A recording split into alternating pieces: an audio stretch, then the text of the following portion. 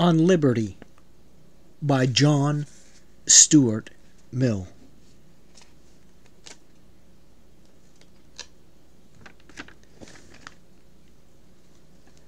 The grand leading principle towards which every argument unfolded in these pages directly converges is the absolute and essential importance of human development in its richest diversity. Wilhelm von Humboldt, Sphere and Duties of Government.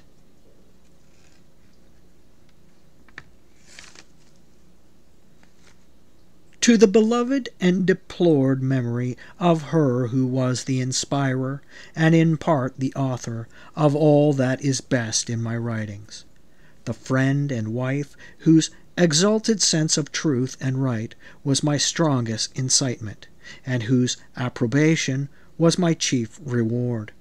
I dedicate this volume. Like all that I have written for many years, it belongs as much to her as to me, but the work, as it stands, has had, in a very insufficient degree, the inestimable advantage of her revision, some of the most important portions having been reserved for a more careful re examination, which they are now never destined to receive. Were I but capable of interpreting to the world one half of the great thoughts and noble feelings which are buried in her grave, I should be the medium of a greater benefit to it than is ever likely to arise from anything that I can write, unprompted and unassisted by her, all but unrivaled wisdom.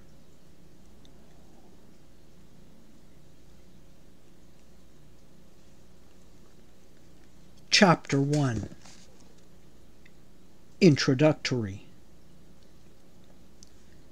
The subject of this essay is not the so called liberty of the will, so unfortunately opposed to the misnamed doctrine of philosophical necessity, but civil or social liberty, the nature and limits of the power which can be legitimately exercised by society over the individual. A question seldom stated and hardly ever discussed in general terms, but which profoundly influences and the practical controversies of the age by its latent presence, and is likely soon to make itself recognized as the vital question of the future. It is not so far from being new that, in a certain sense, it has divided mankind almost from the remotest ages, but in the stage of progress into which the more civilized portions of the species have now entered. It presents itself under new conditions and requires a different and more fundamental treatment. The struggle between liberty and authority is the most conspicuous feature in the portions of history with which we are earliest familiar, particular in the that of Greece, Rome, and England. But in old times, this contest was between subjects, or some classes of subjects, and the government. By liberty was meant protection against the tyranny of the political rulers.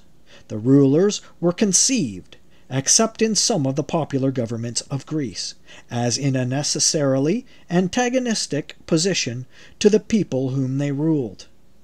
They consisted of a governing one, or a governing tribe or caste, who derived their authority from inheritance or conquest, who at all events did not hold it at the pleasure of the governed, and whose supremacy men did not venture perhaps did not desire to contest, whatever precautions might be taken against its oppressive exercise. Their power was regarded as necessary, but also as highly dangerous, as a weapon which they would attempt to use against their subjects, no less than against external enemies. To prevent the weaker members of the community from being preyed upon by innumerable vultures, it was needed that there should be an animal of prey stronger, stronger than the rest, commissioned to keep them down. But as the king of the vultures would be no less bent upon preying on the flock than any of the minor harpies, it was indispensable to be in a perpetual attitude of defense against his beak and claws. The aim, therefore, of patriots was to set limits to the power which the ruler should be suffered to exercise over the community, and this limitation was what they meant by liberty. It was attempted in two ways. First, by obtaining a recognition of certain immunities, called political liberties or rights, which it was to be regarded as a breach of duty in the ruler to infringe, and which, if he did infringe, specific resistance or general rebellion was held to be justifiable. A second, and generally a later, expedient was the establishment of constitutional checks by which the consent of the community, or of a body of some sort, supposed to represent its interest, was made a necessary condition to some of the more important acts of the governing power. To the first of these modes of limitation, the ruling power in most European countries was compelled more or less to submit. It was not so with the second, and to attain this, or when already in some degree possessed, to attain it more completely, became everywhere the principal object of the lovers of liberty.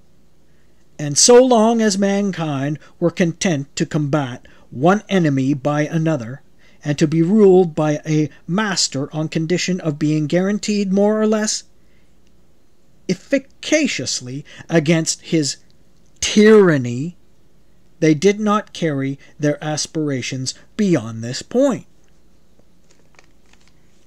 A time, however, came in the progress of human affairs when men ceased to think it a necessity of nature that their governors should be an independent power opposed in interest to themselves. It appeared to them much better that the various magistrates of the state should be their tenants or delegates, revocable at their pleasure. In that way alone, it seemed, could they have complete security that the powers of government would never be abused to their disadvantage.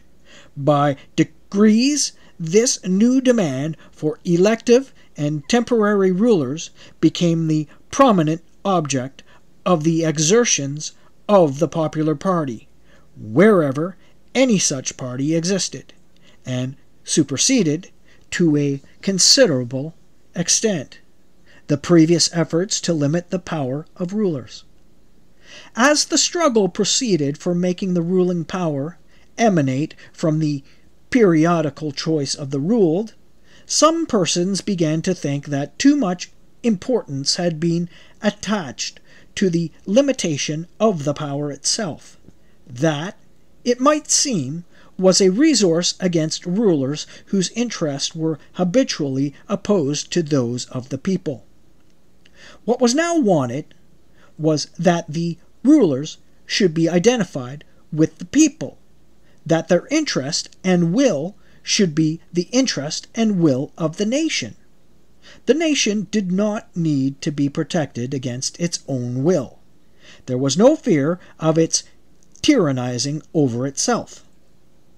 Let the rulers be effectually responsible to it, promptly removable by it, and it could afford to trust them with power of which it could itself dictate the use to be made. Their power was but the nation's own power, concentrated and in a form convenient for exercise. This mode of thought, or rather perhaps of feeling, was common among the last generation of European liberalism.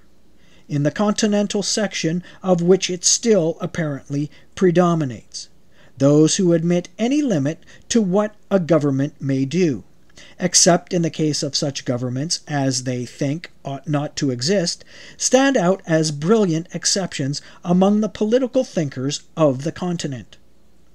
A similar tone of sentiment might by this time have been prevalent in our own country if the circumstances which for a time encouraged it had continued unaltered.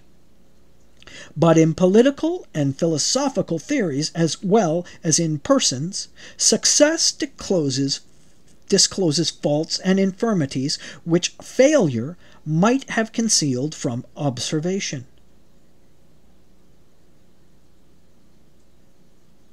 Footnote This mode of thought was even more common among the English utilitarians, the philosophic radicals. Indeed, it was the main feature of their political philosophy.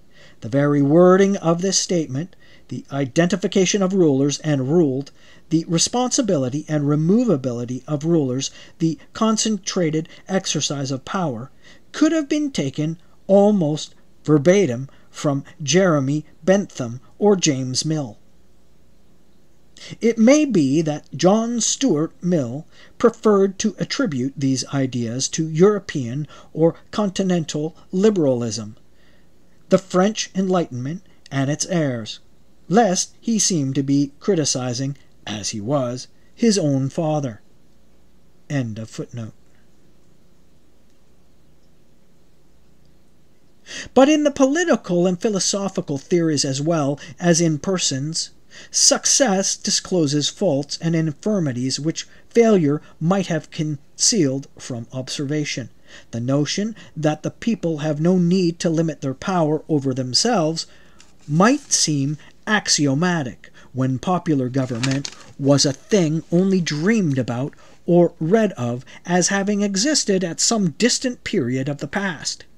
Neither was the notion necessarily disturbed by such temporary aberrations as those of the French Revolution, the worst of which were the work of a usurping few, and which, in any case, belonged not to the permanent working of popular institutions, but to a sudden and convulsive outbreak against monarchical and aristocratic despotism.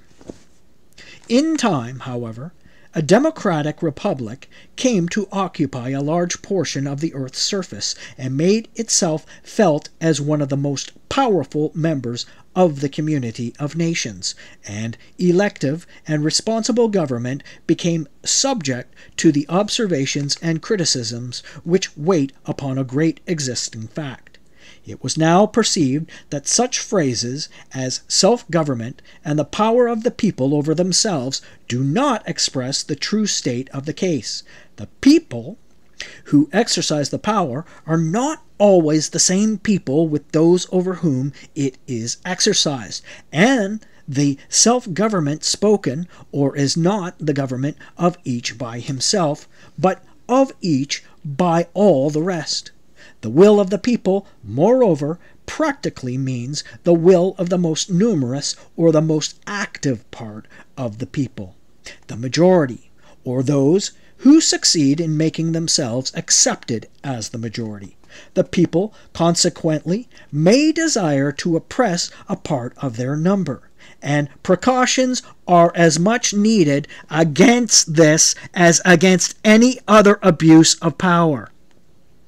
The limitation, therefore, of the power of government over individuals loses none of its importance when the holders of powers are regularly accountable to the community.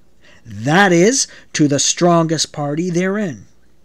This view of things recommended itself equally to the intelligence of thinkers and to the inclination of those important classes in European society to whose real or supposed interest democracy is adverse, has had no difficulty in establishing itself, and in political speculations the tyranny of the majority is now generally included among the evils against which society requires to be on its guard.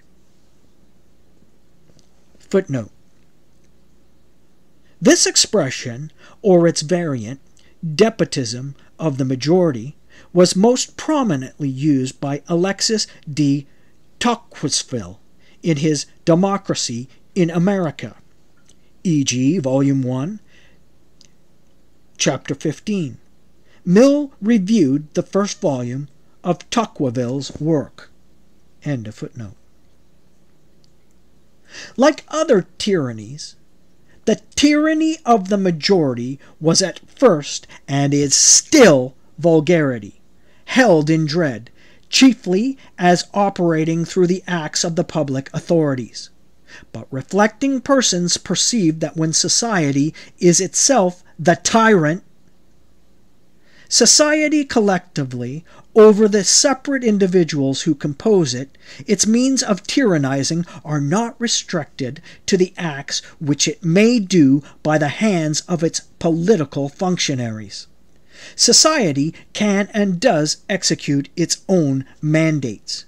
And if it issues wrong mandates instead of right, or any mandates at all in things with which it ought not to meddle, it practices a social tyranny more formidable than many kinds of political oppression.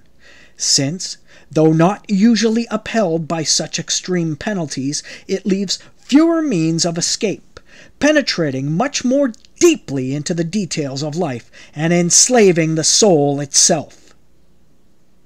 Protection, therefore, against the tyranny of the magistrate is not enough. There needs protection also against the tyranny of the prevailing opinion and feeling, against the tendency of society to impose, by other means than civil penalties, its own ideas and practices as rules of conduct on those who dissent from them to fetter the development and, if possible, prevent the formation of any individuality not in harmony with its ways, and compel all characters to fashion themselves upon the model of its own. There is a limit to the legitimate interference of collective opinion with individual independence, and to find that limit and maintain it against encroachment is as indispensable to a good condition of human affairs as protection against political despotism. But though this proposition is not likely to be contested in general terms, the practical question where to place the limit, how to make the fitting adjustment between individual independence and social control, is it a subject on which nearly everything remains to be done? All that makes existence valuable to anyone depends on the enforcement of restraints upon the actions of other people. Some rulers of conduct, therefore, must be imposed. Footnote. Continued. Full footnote. Again. This expression, or its variant despotism of the majority, was most prominently used by Alexis de Tocqueville in his Democracy in America. E.g., Volume 1, Chapter 15. Mill reviewed the first volume of Tocqueville's work in the London and Westminster Review, October 1835, and the second in the Edinburgh Review, October 1840. Only the second was reprinted in his Dissertations and Discussions, London, 1859, Volume 2, pages 1 to 83. Both are included in Essays on Politics and Culture. Edition. Gertrude Himmelfarb, New York, 1962. End of footnote. Must be imposed by law in the first place, and by opinion on many things which are not fit subjects for the operation of law. What these rules should be is the principal question in human affairs, But if we accept a few of the most obvious cases, it is one of these which least progressed has been made in resolving. No two ages and scarcely any two countries have decided it alike, and the decision of one age or country is a wonder to another. Yet the people of any given age and country no more suspect any difficulty in it than if it were a subject on which mankind had always been agreed. The rules which obtain among themselves appear to them self evident and self justifying. This all but universal illusion is one of the examples of the magical influence of custom, which is not only, as the proverb says, a second nature, but is continually mistaken for the first. The effect of custom in preventing any misgiving respecting the rules of conduct which mankind impose on one another is all the more complete because the subject is one on which it is not generally considered necessary that reasons should be given, either by one person to others or by each to himself. People are accustomed to believe, and have been encouraged in the belief by some who aspire to the character of philosophers, that their feelings on subjects of this nature are better than reasons and render reasons unnecessary. The practical principle which guides them to their opinions on the regulation of human conduct is the feeling in each person's mind that everybody should be required to act as he, and those with whom he sympathizes, would like them to act. No one, indeed, acknowledges to himself that his standard of judgment is his own liking, but an opinion on a point of conduct, not supported by reasons, can only count as one person's preference, and if the reasons, when given, are a mere appeal to a similar preference felt by other people, it is still only many people's liking instead of one. To an ordinary man, however, his own preference, thus supported, is not only a perfectly satisfactory reason, but the only one he generally has for any of his notions of morality, taste, or propriety, which are not expressly written in his religious creed, and his chief guide in the interpretation even of that. Men's opinions, accordingly, on what is laudable or blamable are affected by all the multifarious causes which influence their wishes in regard to the conduct of others, and which are as numerous as those which determine their wishes on any other subject. Sometimes their reason, at other times their prejudices, or superstitions, often their social affections, not seldom their antisocial ones, their envy or jealousy, their arrogance or contemptuousness, but most commonly their desires or fears for themselves, their legitimate or illegitimate self interests. Wherever there is an ascendant class, a large portion of the morality of the country emanates from its class interest and its feelings of class superiority. The morality between Spartans and Helots, between planters and Negroes, between princes and subjects, between nobles and roturiers, between men and women, has been for the most part the creation of these class interests and feelings, and the sentiments thus generated react in turn upon the moral feelings of the members of the ascendant class in their relations among themselves where, on the other hand, a class formally ascendant has lost its ascendancy, or where its ascendancy is unpopular, the prevailing moral sentiments frequently bear the impress of an impatient dislike of superiority. Another grand determining principle of the rules of conduct, both in act and forbearance which have been enforced by law or opinion have been the servility of mankind towards the supposed preferences of aversions of their temporal masters or of their gods. This servility, though essentially selfish, is not hypocrisy. It gives rise to perfectly genuine sentiments of abhorrence. It made men burn magicians and heretics. Among so many baser influences, the general and obvious interests of society have, of course, had a share, and a large one, in the direction of the moral sentiments, less, however, as a matter of reason and on their own account, than as a consequence of the sympathies and antipathies which grow out of them, and sympathies and antipathies which had little or nothing to do with the interest of society, have made themselves felt in the establishment of moralities with quite as great force. Footnote Peasants, peasant farmers. End of footnote.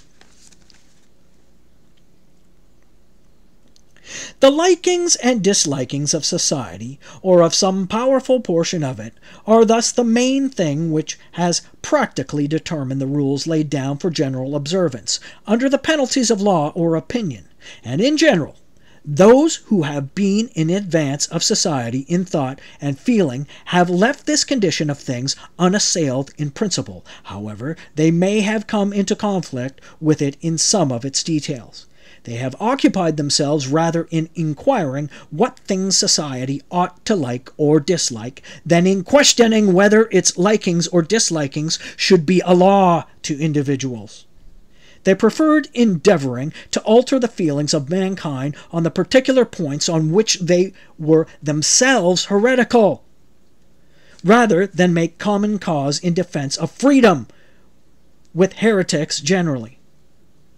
The only case in which the higher ground has been taken on principle and maintained with consistency by any but an individual here and there is that of religious belief, a case instructive in many ways, and not least so as forming a most striking instance of the fallibility of what is called the moral sense. For the odium theologicum in a sincere bigot. Footnote theological hatred, i.e., the hostility engendered by religious differences. End of footnote.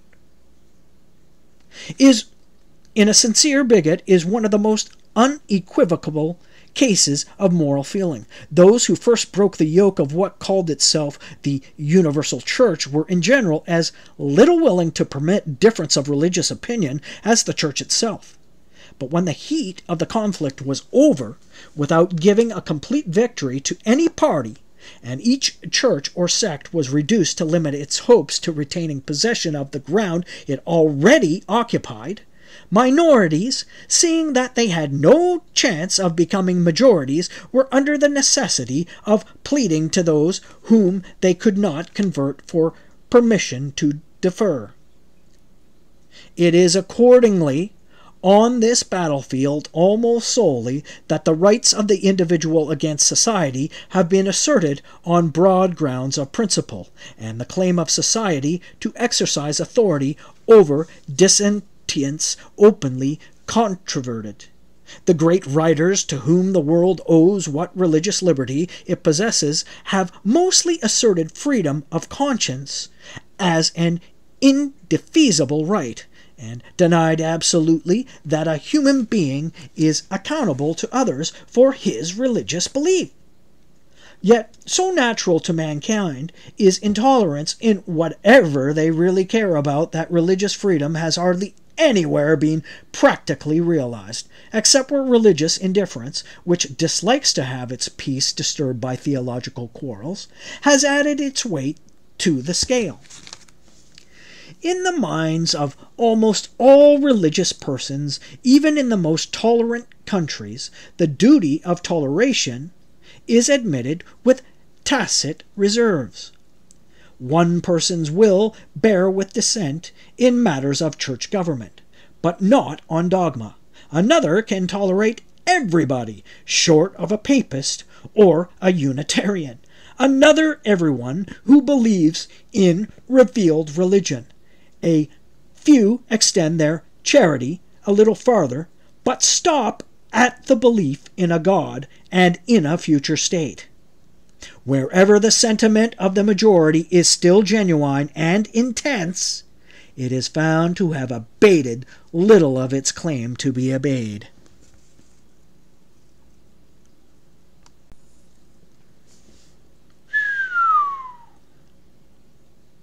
In England, from the peculiar circumstances of our political history, Though the yoke of opinion is perhaps heavier, that of law is lighter than in most other countries of Europe, and there is considerable jealousy of direct interference by the legislative or the executive power with private conduct, not so much from any just regard for the independence of the individual as from the still subsisting habit of looking on the government as representing an opposite interest to the public.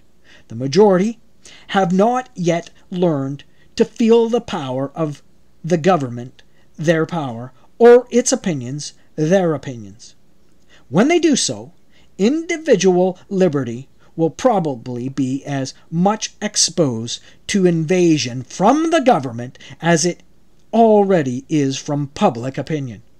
But as yet, there is a considerable amount of feeling ready to be called forth against any attempt of the law to control individuals in things in which they have not hitherto been accustomed to be controlled by it, and this with very little discrimination as to whether the matter is or is not within the legitimate sphere of legal control, insomuch that the feeling highly salutary on the whole is perhaps quite as often misplaced as well grounded in the particular instances of its application. There is, in fact, no recognized principle by which the propriety or impropriety of government interference is customarily tested. People decide according to their personal preferences. Some whenever they see any good to be done or evil to be remedied, would willingly instigate the government to undertake the business, while others prefer bear almost any amount of social evil rather than add one to the departments of human interest amendable to governmental control and men range themselves on one or the other side in any particular case, according to this general direction of their sentiments or according to the degree of interest which they feel in the particular thing which it is proposed that the government should do, or according to the belief they entertain that the government would or would not do it in the manner they prefer, but very rarely, on account of any opinion to which they consistently adhere, as to what things are fit to be done by a government. And it seems to me that in consequence of this absence of rule or principle, one side is at present as often wrong as the other. The interference of government is with about equal frequency improperly invoked and improperly condemned. The object of this essay is to assert one very simple principle as entitled to govern absolutely the dealings of society with the individual in the way of compulsion and control. Whether the means used by physical force in the form of legal penalties or the moral coercion of public opinion. That principle is that the sole end for which mankind are warranted, individually or collectively, in interfering with the liberty of action of any of their number is self protection. That the only purpose for which power can be rightfully exercised over any member of a civilized community against his will is to prevent harm to others.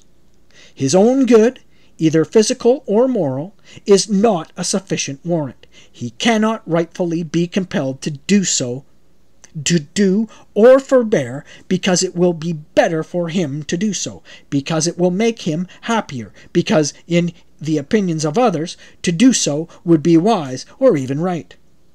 These are good reasons for remonstrating with him, or reasoning with him, or persuading him, or entreating him, but not for compelling him or visiting him with any evil in case he do otherwise. To justify that, the conduct from which it is desired to deter him must be calculated to produce evil to someone else. The only part of the conduct of anyone for which he is amenable to society is that which concerns others. In the part which merely concerns himself, his independence is of right absolute over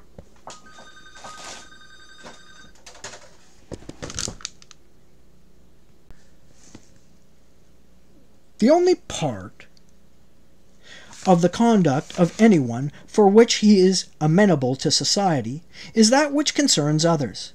In the part which merely concerns himself is independence, his independence is of right absolute over himself, over his own body and mind. The individual is sovereign. It is perhaps hardly necessary to say that this doctrine is meant to apply only to human beings in the maturity of their faculties.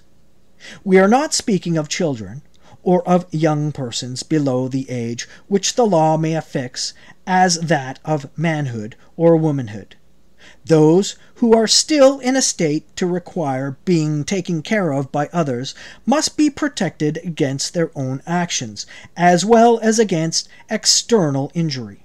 For the same reason, we may leave out considerations consideration those backward states of society in which the race itself may be considered as its nonage. The early difficulties in the way of spontaneous progress are so great that there is seldom any choice of means for overcoming them, and a ruler full of the spirit of improvement is warranted in the use of any expedients that will attain an end perhaps otherwise unattainable.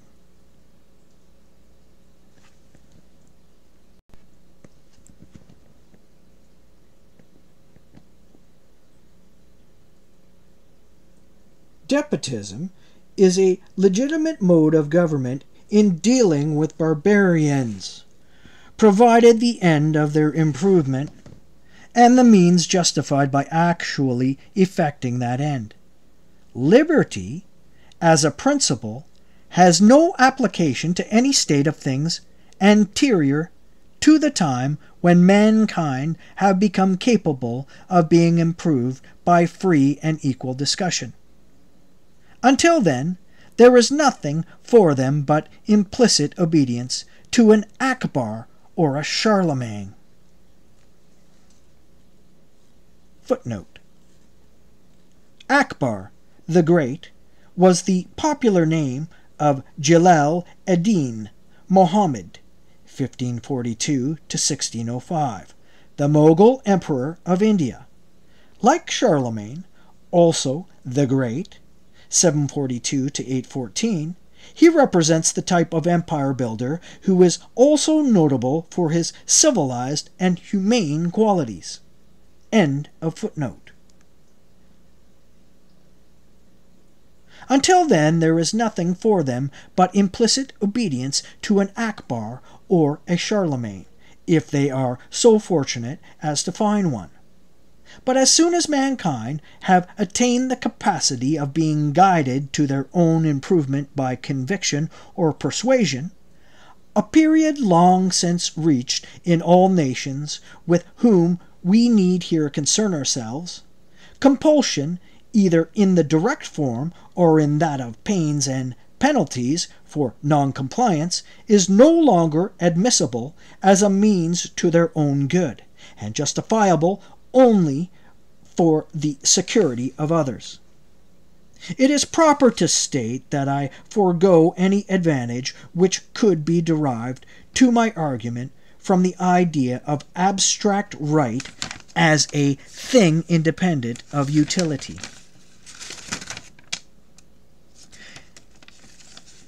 I regard utility as the ultimate appeal on the ethical questions, but it must be utility in the largest sense, grounded on the permanent interest of man as a progressive being.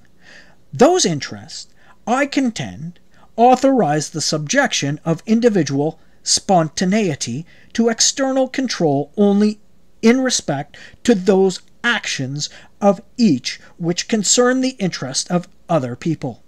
If anyone does an act hurtful to others, there is a prima facie case for punishing him by law, or, where legal penalties are not safely applicable, by general disapprobation. Disapprobation. There are also many positive acts for the benefit of others, which he may rightfully be compelled to perform, such as to give evidence in a court of justice, to bear his fair share in the common defense, or in any other joint work necessary to the interest of the society of which he enjoys the protection, and to perform certain acts of individual beneficence such as saving a fellow creature's life or interposing to protect the defenseless against ill usage, things which, whenever it is obviously a man's duty to do, he may rightfully be made responsible to society for not doing. A person may cause evil to others not only by his actions, but by his inaction, and in either case he is justly accountable to them for the injury. The later case, it is true, requires a much more cautious exercise of compulsion than the former. To make anyone answerable for doing evil to others is the rule. To make him answerable for not preventing evil is, comparatively speaking, the exception. Yet there are many cases clear enough and grave enough to justify that exception. In all things which regard the external relations of the individual, he is de jure amenable to those whose interests are concerned, and if need be, to society as their protector. There is often good reasons for not holding him to the responsibility, but these reasons must arise from the special expediencies of the case, either because it is a kind of case in which he is on the whole likely to act better when left to his own discretion than when controlled in any way in which society have it in their power to control him, or because the attempt to exercise control would produce other evils greater than those which it would prevent. When such reasons as these preclude the enforcement of responsibility, the conscience of the great of the agent himself should step into the vacant judgment seat and protect those interests of others which have no external protection, judging himself all the more rigidly because the case does not admit of his being made accountable to the judgment of his fellow creatures. But there is a sphere of action in which society, as distinguished from the individual, has, if any, only an indirect interest, comprehending all that portion of a person's life and conduct which affects only himself, or, if it also affects others, only with their free, voluntarily, and undeceived consent and participation. When I say only himself, I mean directly and in the first instance, for whatever affects himself may affect others through himself, and the objection, which may be grounded on this contingency, will receive consideration in the sequel. This then, is the appropriate region of human liberty. It comprom- uh, sorry, excuse me. It comprises first the inward domain of consciousness, demanding liberty of conscience in the most comprehensive sense, liberty of thought and feeling, absolute freedom of opinion and sentiment on all subjects, practical or speculative, scientific, moral, or theological the liberty of expressing and publishing opinions may seem to fall under a different principle, since it belongs to that part of the conduct of an individual which concerns other people, but being most almost of as much importance as the liberty of thought itself, and resting in great part on the same reasons. It is practically inseparable from it. Secondly, the principle requires liberty of taste and pursuits of framing the plan of our life to suit our own character, of doing as we like, subject to such consequences as may follow, without impediment from our fellow creatures, so long as what we do does not harm them, even though they should think our conduct foolish, perverse, or wrong. Thirdly, from this liberty of each individual follows the liberty within the same limits of combination among individuals, freedom to unite for any purpose not involving harm to others, the persons combining being supposed to be of full age and not forced or deceived. No society in which these liberties are not, on the whole, respected is free whatever may be its form of government, and none is completely free in which they do not exist absolute and unqualified. The only freedom which deserves the name is that of pursuing our own good in our own way, so long as we do not attempt to deprive others of theirs or impede their efforts to obtain it. Each is the proper guardian of his own health, whether bodily or mental and spiritual. Mankind are greater gainers by suffering each other to live as seems good to themselves than by compelling each to live as seems good to the rest. Though this doctrine is anything but new, and to some persons may have the air of a truism, there is no doctrine which stands more directly opposed to the general tendency of existing opinion and practice. Society has expended fully as much effort in the attempt, according to its lights, to compel people to conform to its notions of personal as of social excellence.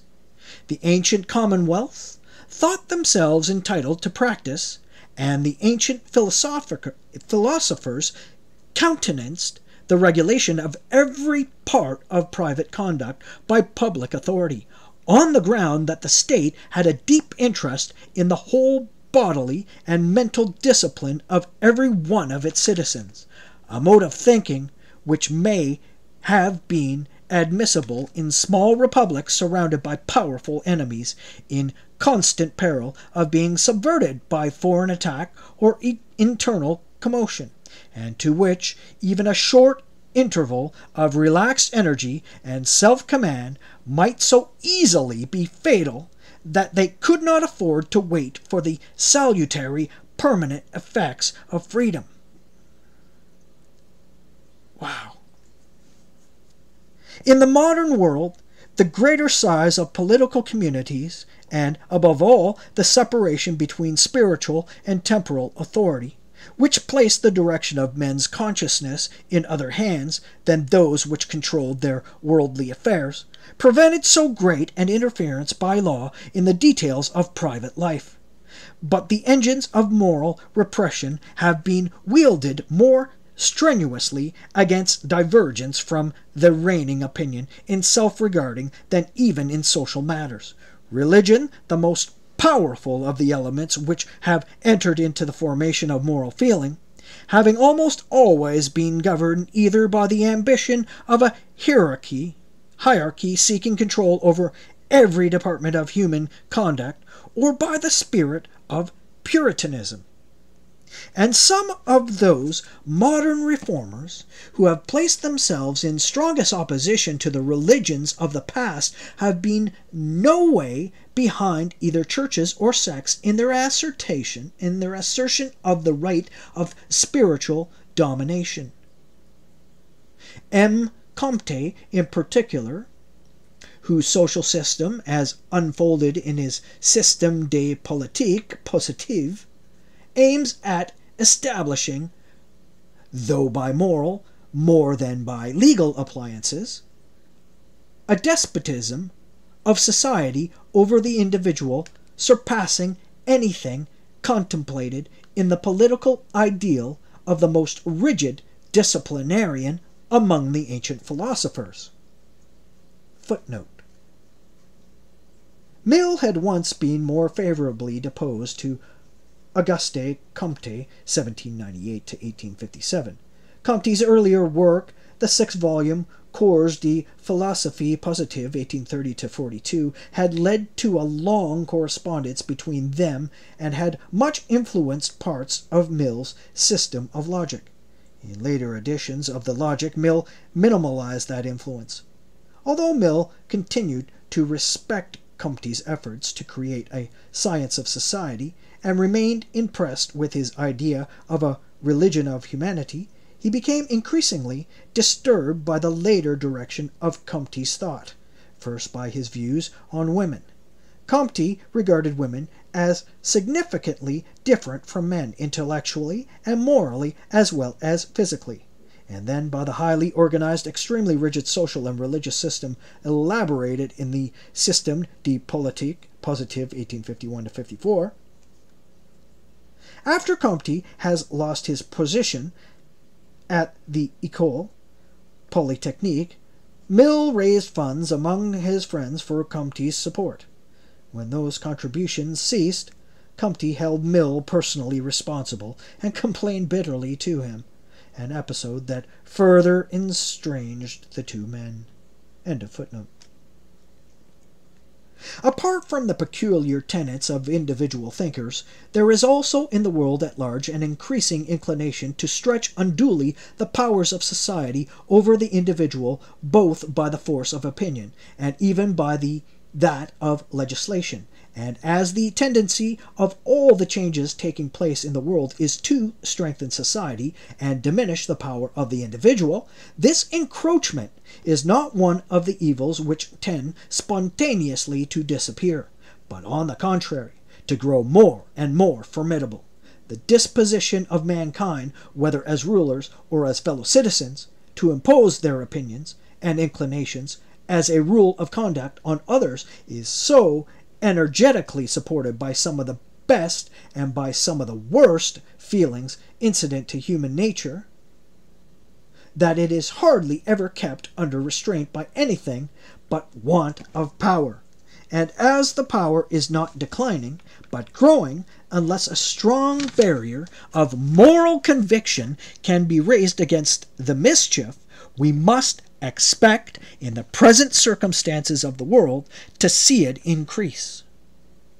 It will be convenient for the argument if, instead of at once entering upon the general thesis, we confine ourselves, in the first instance, to a single branch of it, on which the principle here stated is, if not fully, yet to a certain point, recognized by the current opinions.